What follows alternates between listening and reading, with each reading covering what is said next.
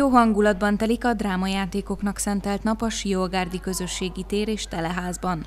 A település önkormányzatának segítségével szerveztek a helyi gyerekeknek nyári matinét, ahol július 14-e és augusztus 13-a között minden kedden és csütörtökön délelőtt foglalkozásokat tartottak, vagy előadásokat szerveztek.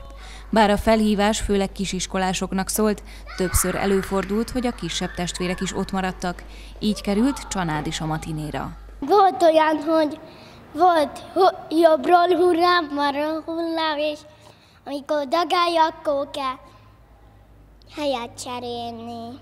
És ügyes voltál? Uh-huh. Én voltam egyszer a kapitány, és kifárasztottam. Jobbra, balra, jobbra, balra, jobbra, balra. A programon olyan gyerekek is részt vettek, akik nem sióagárdiak, csak a nagyszülőknél nyaraltak. Ilyen volt Mészáros Borbála is, aki azt mondja, nagyon jól érzi magát annak ellenére, hogy a testvérén kívül nem ismer senkit. Itt laknak a nagyszüleim, én Albertrésen lakok, a szüleimmel, meg a testvéremmel, aki segített bábozni, és együtt csináltuk ezt a három kis malacot, meg a díszleteket, meg mindent, és ugye itt nyaralunk, és akkor a nagymamám így mondta, hogy van egy ilyen, és akkor eljöttünk.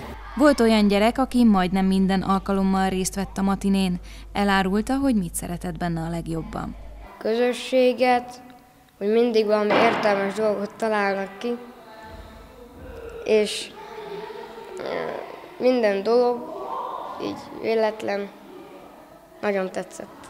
Nekem a védőnős meg a vörös keresztes tetszett a legjobban mert, mert én orvosnak készülök, ugye, és hát szeretem az ilyen dolgokat. Két csütörtök délelőttönként, tehát így rendszeresen csináljuk ezt számukra is. Jól megjegyezhető időpont, hogy mindig ugyanabban a, az időpontban délelőttönként találkozunk. Megkértük itt a, a faluban dolgozó, illetve itt élő olyan közreműködőket, akik valami érdekeset, valami különlegeset tudnak adni a, a gyerekeknek, és nem csak őket, hanem egyéb más egy, itt együtt dolgozó kollégákat is, és így állt össze egy, egy hónapos program.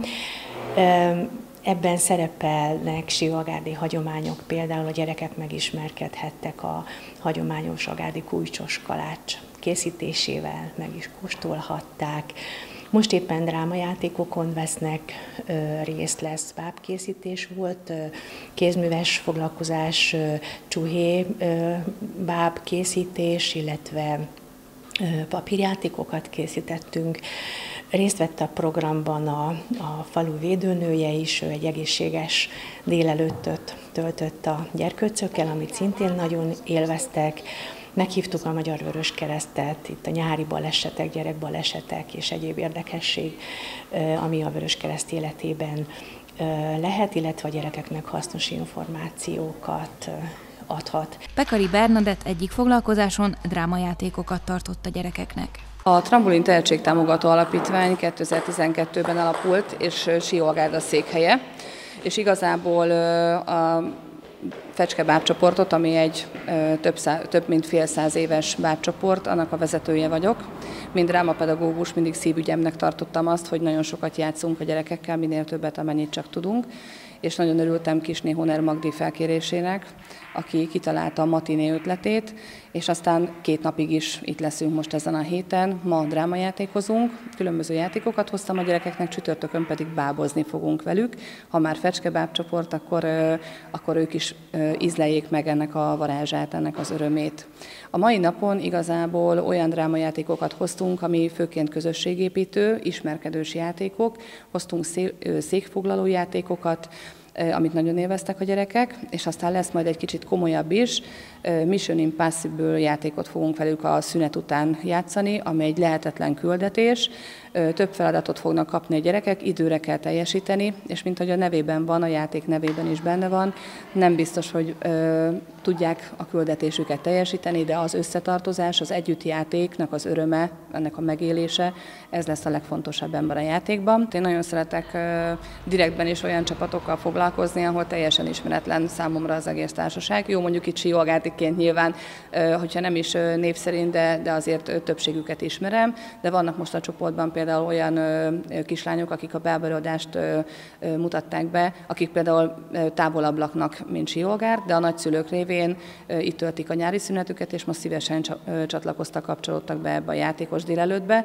Tehát én ezt is kihívásnak tartom, hogyha egy teljesen ismeretlen csapattal kell dolgozni vagy játszani együtt, mert én azt gondolom, hogy a játéknak a varázsa az mindenkit magával ragad, és én ebben, ebben látom ezt a nagyszerű lehetőséget. Akkor felmászok a tetőre, és bemászok a kéményen. A malacok ezt is hallották, és begyújtottak, hogy a farkas a tűzbe essen. Minden alkalommal ö, más van. Itt ugye az önkormányzat segítségével és szervezésével indult ez a, ez a programsorozat, és igyekeztünk minél bőségesebb program kínálatot adni a gyerekeknek, ezért került bele ugye nyilván Siagárde egy élő hagyományokkal rendelkező falut, nem csak hirdetik, illetve őrzik, hanem ápolják napi szinten működnek ezek a hagyományok, lásd ez a kújcsos kalács készítés, az a Gárdi Lagzikban mai napig készítenek kújcsos kalácsot. Például, de ugyanígy a, igyekeztünk, hogy egy kicsit a ezek a népi játékok, népi ö, iparművészet elemei, például itt a csuhéból készült, szinte már-már professzionálisan elkészült bábok, nagyon élvezték a gyerekek. Nyilván egyfajta anyagi ö, vállalás is az önkormányzat részéről, bár azt szeretném hozzátenni, hogy a tehát itt inkább az eszközök megvásárlásában mert a közreműködő felnőttek, szakemberek, ők mind az önkéntes munkájukat adták ehhez a programhoz.